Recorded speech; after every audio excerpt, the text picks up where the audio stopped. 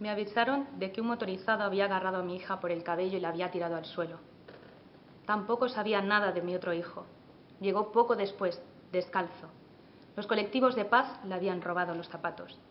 Hazte eco de lo que pasa en Venezuela.